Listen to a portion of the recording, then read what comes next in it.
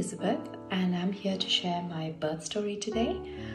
Um, I have two children, aged three and one and a half.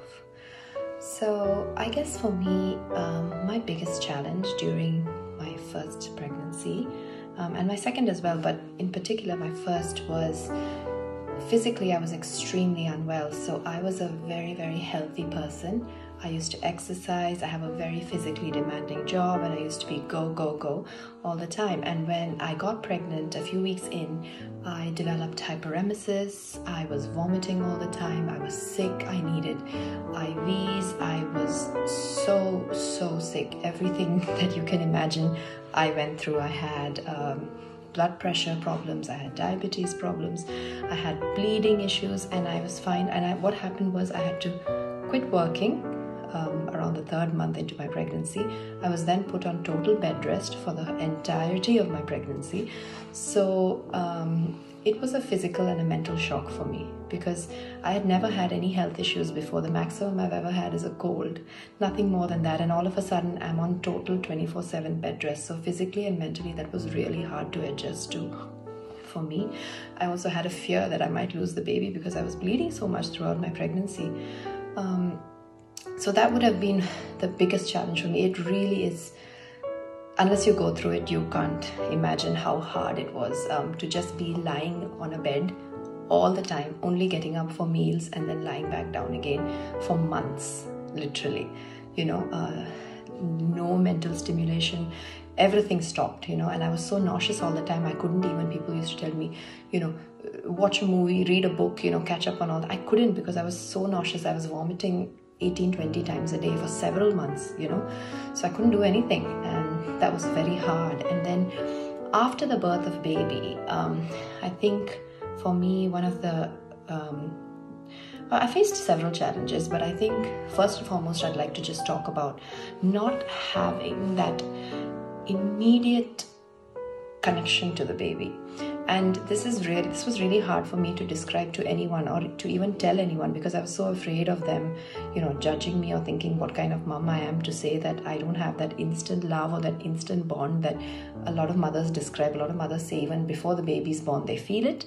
And if not then when, as soon as baby comes out they feel it. Now i didn't feel that you know I, I I loved the baby, but I didn't have that emotional attachment, and that for me came after several weeks of being with Bub, you know, and bonding with the baby and doing things for the baby. It took several weeks for ba- when baby's personality started to come through, and she was smiling back at me, and all is when I started to really grow that emotional bond. So, and I think that's completely okay. So you know, I just want to put it out there for anyone else who might be feeling, might not, or might not be feeling that instant bond as soon as baby's born, and you think you're supposed to. Nothing's wrong. If you're not, it will come um, as time goes. And then I guess. Um, Another massive challenge for me was just coping with the biggest change in my life. So, of course, you hear about all the tiredness, the lack of sleep, you hear everything, but going through it, you know, um, and having to care for another person 24 7 you're suddenly responsible for another human being you know? Um, the tiredness the lack of sleep the fatigue you know the lack of a- any personal time. It's a big adjustment. Like hearing it about it and going through it is two completely different things and i don't think i might have um, coped all that well you know going through it. So uh, one of the biggest one of the things i did to rectify that was just accept the help that i was getting. So sometimes like the people offering me help might not be doing things in exactly the way i want them to do it for baby but then i realized that if i'm going to correct them every time or if i'm going to say no you don't do it i'll only do it because my way i feel is better then i'm never going to catch a break. And that's so important. So even if things are not 100% done your way if by someone you know if they're offering you help take the help you know, um, let them do it, and that's fine.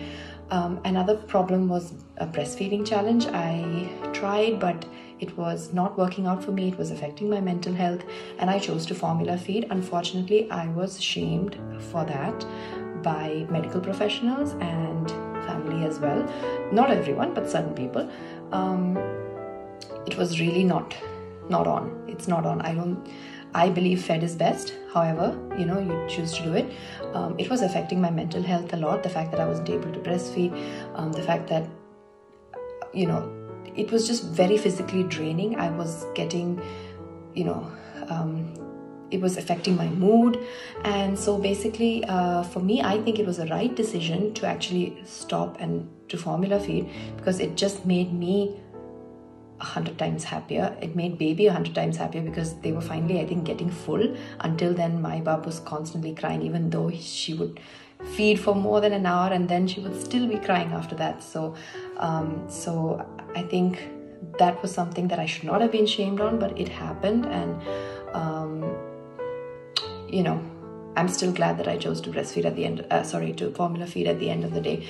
Um, for me, fed is best.